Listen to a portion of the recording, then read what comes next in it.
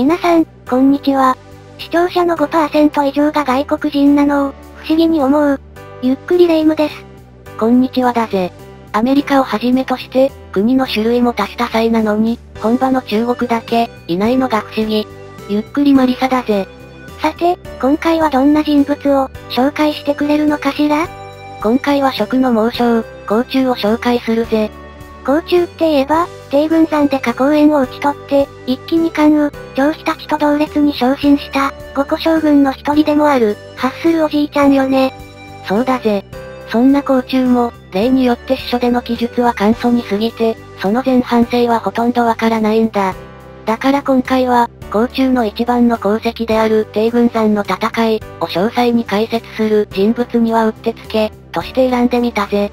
なるほど、他の主要人物は、帝軍山以外の実績があるから、フォーカスして尺を多く使えないってことね。そういうことだぜ。じゃあ、早速紹介を、始めてもらえるかしら？おう、任せとけだぜ。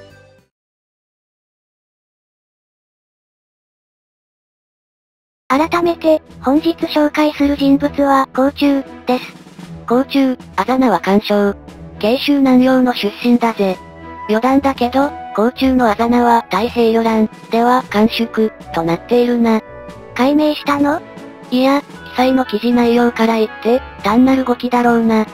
それから、甲虫の出た講師につながる人物については、残念ながら発見できなかったぜ。孔明の奥さんのお父さんって、確か講師よね？同じ慶州にいたんだし、そっちとの関係は？光月英の父親の交渉源のことか？おそらくないな。甲虫は南洋で交渉源は南軍の出身だから、そもそも出身地からして違うぜ。それに、ほら。うん？これ、なーに？右が日本の九州で、左が慶州降下軍の領域だ。二つは大体同じ広さなんだ。慶州全体なら、日本全部に匹敵するかな？同じ州だから同族。って論法だと、日本全国の山田さんが、みんな一族ってことになるぜ。ああ、なるほど。地図にして見せられると、改めて中国って大きいってわかるわね。そういうことだな。それに、候補数の補記、で、中国の姓は種類が少ない、って話をしただろう？だからなおさらだぜ。他にも、五感女、だけでなく、感女、まで遡って探してみたけど、これ、といった人間は見つけられなかったぜ。甲虫が、若い頃にどうしていたかは不明で、甲虫の記録が出てくるのは、慶州僕の流氷に使えてからだな。先も述べたように、甲虫の前半生はわからないから、青年も定かじゃないけど、関羽が老兵、って言ったのを勘案すると、一回りは上だろうから、おそらく150年代後半くらいの生まれかもな。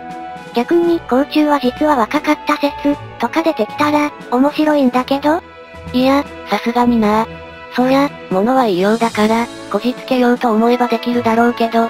自然解説なんだから、司書から読み取れる、一番真相に近しい、と思われる解釈を提供しないと、意味ないだろう？そりゃあね。でも、その方が視聴数を稼げるかもよ。バカえ。そんなことで師匠曲解してたんじゃ、自然解説の直れ、本末転倒だぜ。面白くないわねさて、切り替えて進めていくぞ。先の青年を、基準として考えると、流氷が慶州に来た時に、甲虫は30歳は超えている計算になるぜ。そして流氷の下で中老将に任命された甲虫は、流氷の上の流番と一緒に、慶州調査軍有権の守備任務に就いたんだ。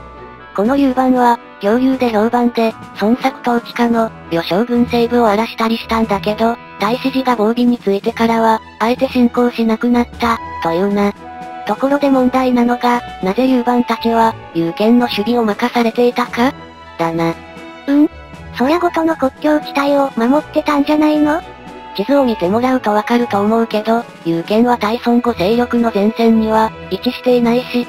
調査軍の軍地、県庁所在地みたいなもの、でもないので、推察するにこれは、朝鮮の反乱に対するものだった、と思うぜ。この朝鮮の反乱は、数年にわたって続いており、関海の震源に沿って、早々に帰復を申し込んでいたけど、関東の戦いで曹操が身動きできない間に、勢力を削られ、朝鮮が病死すると、その子が擁立されたけど、間もなく平定されたぜ。じゃあ、その朝鮮討伐に、流番と甲虫が当たっており、そのまま守備の任についた、ということね。さすがに討伐自体は単独じゃなく、流氷本軍と一緒だろうけど、その前後の段階や、平定後の鎮部に当たった、と考えるのが妥当な線じゃないか、と思うぜ。ちなみに、上の調査軍の地図の上側にある座県が、劉備の養子の劉邦の出身地、と言われているところだぜ。あら、そうなのね。劉邦にも色々あるって聞いてるわよ。なんか陰謀で殺されたとか、なんとか。また、変な話を仕入れてきたなまあ、そういうのは、UFO を紹介する機会があったら解説するので、今は甲虫の解説を進めるぜ。わかったわ。甲虫は、後にわかるように、凄まじい武勇の持ち主なんだけど、流氷の元では、特に具体的な武功は記録されていないな。記録がないから武功がない、とは言えないけど、書かれてないから、活躍したんじゃないかなと想像するしかないぜ。職の人物には、付き物の悩みね。逆に、小説家だったら、腕の見せ所になるでしょうけど。そうだな。極論すれば、歴史小説は、いかに面白くて、巧妙な嘘をつくか？が見どころだからな。あたしなら、甲虫は若い頃から武芸に長けていて、南洋の黄金討伐に従軍して武功を挙げ、その後は、慶州市の王衛に仕えて武官を務め、王衛が孫権に殺されると、仇討ちを誓って流氷の元に参じ、孫権を自慢の弓で殺す。朝鮮の反乱では苦戦したけど、劉備が流れてきてから、一緒に戦って平定し、劉備に一目置くようになる、って感じにするかな？そっちの方が、色々とドラマチックね。でも、歴史人物紹介を歌う以上は、司書に転居しないといけないのが辛いところ、だぜ。まあ、そんなヨタ話は置いておいて、甲虫紹介だ。曹操が慶州に侵攻してくると、流氷の子の流曹は基準したため、調査軍も曹操に属すことになり、甲虫は、仮に非将軍代行を命じられ、調査大使の還元に属して、元の守備任務に当たったぜ。でも、劉備が慶州南部に進出してくると、南部四軍は劉備に降伏することになり、甲虫もついに進化の例をとって、劉備の配下となるぜ。いきなり、目まぐるしく変わったわね。ちなみに、古今刀剣録では、この頃に劉備は赤血刀？という名刀を手に入れ、これを甲虫に与えた、という話が残っているぜ。赤血刀については、武器紹介食編でチェックしてね。そんな甲虫は、劉備に従って職に随行し、建安18年213年に駅州侵攻戦が始まると、下防、に手人を受け、引き返して優勝軍を攻めるんだ。甲虫は、常に軍の先方を務めて突進し、敵の陣営を陥落させ、その勇敢さと過断な様は、全軍随一だったぜ。駅州の平定が終わると、劉備は甲虫の武功を大きく評価してくれて東洋将軍を拝命したんだ。水を得た魚のごとく、といった活躍ね。なんの、その後も甲虫は活躍するぜ。次はいよいよ、劉備の漢中攻略戦。俗に言う帝軍山の戦い、だ。今回のハイライトね。楽しみだわ。劉備が職を定めた頃、北方では曹操が漢中の平定と、漢中の攻略を進めており、劉備に従った貢献という知恵者は、漢中を敵手に委ねる危険を解いており、劉備は、すぐに対策を打ったけど一方即、曹操が漢中を平定してしまったんだ。さらに建安20年215年には、曹操配下の長江が、派生、波頭を下して、派軍にまで進出してくる、という事態に発展。劉備は、張飛、貢献のコンビで長江を大破し、三派を鎮武すると、次は漢中攻略を視野に入れることになるぜ。十分に準備を整えた劉備は、建安23年218年に、諸将を率いて、漢中を目指すぜ。とはいえ、漢中を守るのは加工園を筆頭に、長江、徐行、といった名だたる名将たちに、角愛、といった知恵者もいるんだ。うわぁ、光栄の三国志、でも、一流どころのオンパレードね。勝てるかしら？そこで劉備は、何重にも策を持って対抗するんだぜ。まず劉備は、漢中を狙うにあたって、いくつかある道のうちの赤宮道、という道を選んだんだ。この道は、地図を見てもらうとわかるけど、漢中盆地に西から向かい、両兵艦に当たる道で、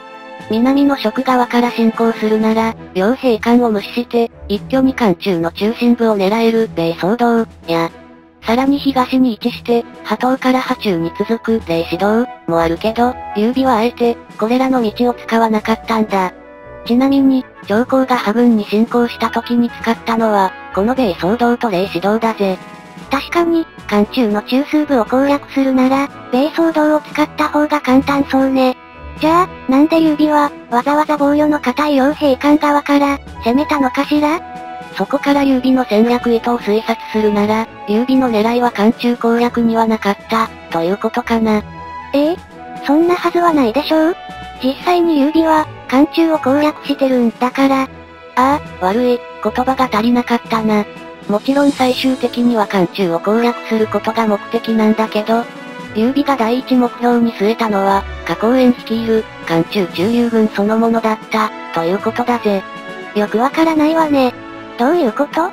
実は傭兵艦は、老流、つまり老艦異性の地域側、もっと言えば、陳騒動を利用した侵攻に備えた防御網であり、職の側から侵攻する場合、艦中の軍地である、なんて？を攻略するのに、傭兵艦は無視することができるんだ。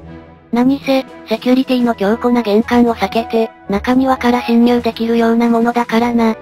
そのための、定格、食料などを備蓄する拠点、も道沿いにあるんだ。でも、劉備は使わなかった。その意味するところは、意味するところは劉備は漢中という土地の選挙ではなく、漢中軍を撃破して無力化することで、必ず来るであろう、曹操との戦いを見据えて、戦術的優位に立とうとした、ってことだぜ。つまり、たとえ傭兵艦を避けて、漢中という土地を占領しても、加工園たちの戦力が残ったままじゃ、東から早々、西から漢中軍の挟み撃ちにあってしまう、という漢中を取った後のことを、想定して動いていたんだ、と考えるぜ。ああ、なるほど。だからわざわざ、西側から攻めていたわけね。もし、傭兵艦を抜けなければ、そもそも中枢に進めないから、決定的な基地に陥ることもない、と。そういう風に見ていくと、この後の優美陣営の動きがわかりやすくなるんだ。予想通り、両兵艦を固めた加工園らに対して、まず優美側は張飛を筆頭に、ご覧、ライドウ、等を派遣して、部都に入らせたぜ。このご覧、ライドウの二人は、西方の帝族の支援を要請して、陳倉方面から来る、援軍兵の対象任務とし、さらに長品に長六の古山に駐屯させ、あたかも陳倉方面の大老たち、祈山道から領州に侵攻するように見せる、大規模な陽動を実施したぜ。長飛の動きは、早急に見破られて、ご覧、ライドウが戦死する、という結果となってしまったけど、早急、走行が率いてきた援軍は、劉備陣営が陳騒動を脅かす、という危惧を抱かせたことにより、艦中に合流できなくなってしまったんだ。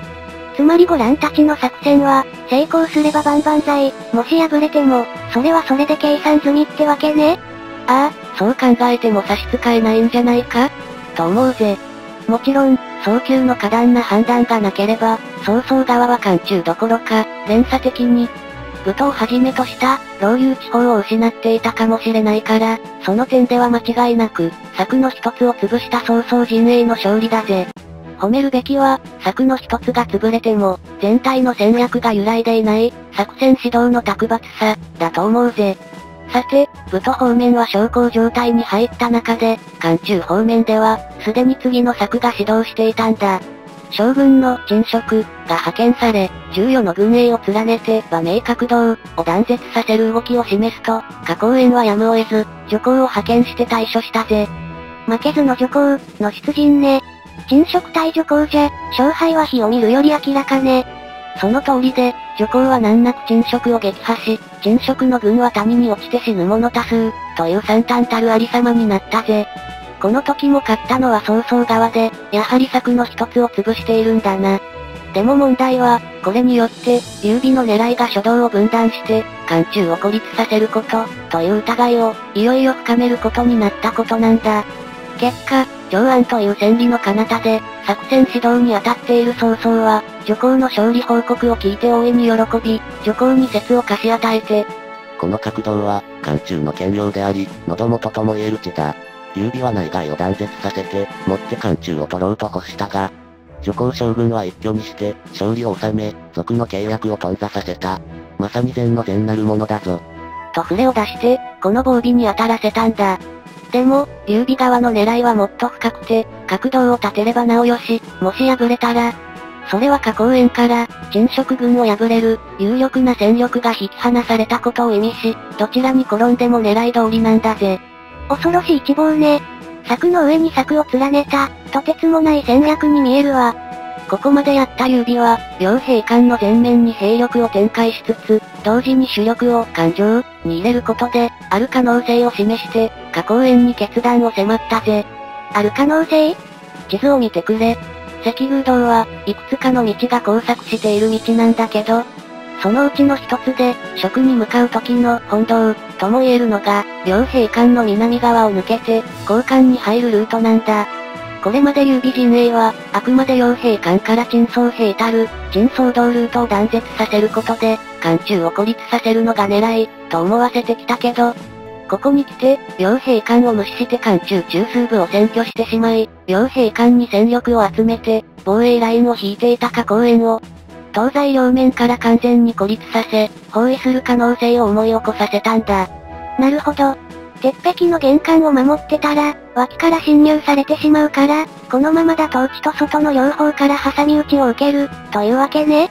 そういうことだぜ。本来は想定していない、内側からの攻撃にさらされれば、両兵艦も難攻不落を誇ることはできないだろうからな。下公園は彼の立場で取り得る、ベストに近い選択をしたぜ。まず、両兵艦の中でも、弁水の北側部分を放棄し、長江を少し東に後退させた鉱石に駐屯させて劉備を防がせ、その間に、防衛ラインを南にシフトし、帝軍山によって、防御陣地を築き上げたんだ。ちょっと待ってマリサ。両兵艦の北側だけ放棄、とかできるの？両兵艦ってこんな感じなんでしょ？ああ、確かに両兵艦って聞くと、どうしてもそういうのを想像するよな。でも、実際の傭兵艦は、霊夢が想像したような、関門を連ねて置かれていたんじゃなく、周辺の山などの地形を利用して、諸陣営を工作して守る、大きな防衛陣地の集合体だったんだ。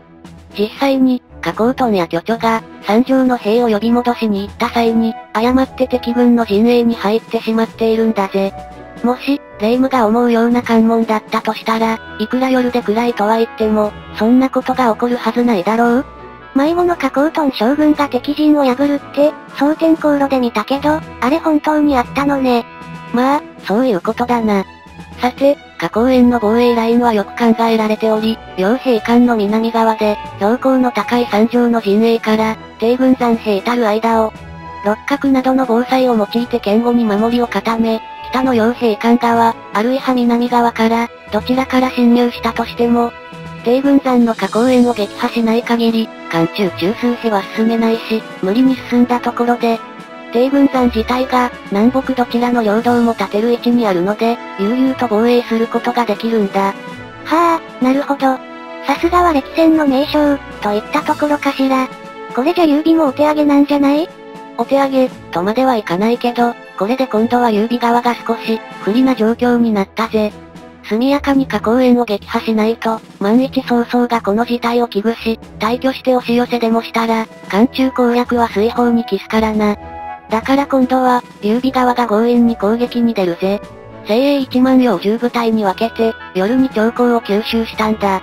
でも、長江も歴戦の猛者であり、この劉備の急な攻撃にも、新鋭の兵を率いて奮戦し、劉備は勝つことができなかったぜ。劉備の攻撃を退けた長江は、帝軍山の東側の守備につき、劉備はどうしても待ち構える加工園に、決戦を挑まざるを得ない状況となったんだ。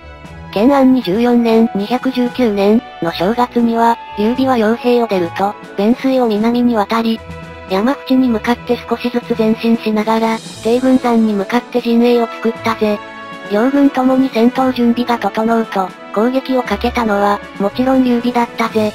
まあ、加工園側は、守ってれば有利なんだから、そりゃ当然よね。劉備は、両兵の諸陣営と帝軍山を結ぶ、結節点とも言える相場国に着目すると、ここの六角を焼き払い分断を図った、ように見せたぜ。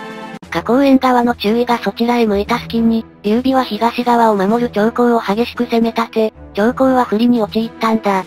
これを見た加工園は、自分の機下の兵を分けて、半分を長江の救援に赴かせ、自身は400の兵で六角の修繕に向かったぜ。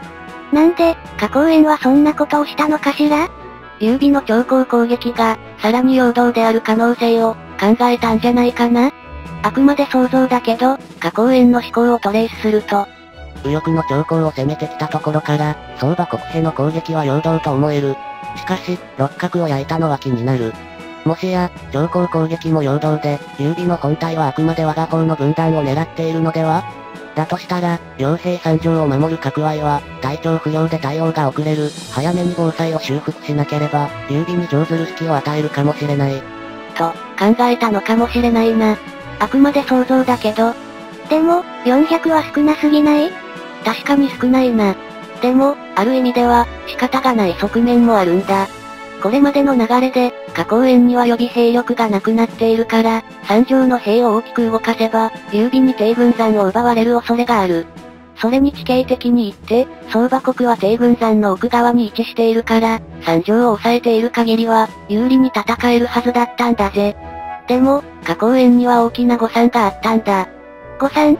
ああ、それは劉備の目的が漢中である、という思い込みから、劉備が自分自身を狙ってくる、という可能性を、考慮してなかった点だぜ。わずかな陣営の変化で、加工園の動きに気づいた法政は、劉備に向かって、撃つべし、と進言。劉備は甲中に命令して出撃させ、甲中は強引に帝軍山を登り、太鼓を鳴らして、これを攻めたぜ。加工園の兵は甚だ静観であったけれど、甲中はその栄法を砕くと、兵に前進を指示して揺るがず進み、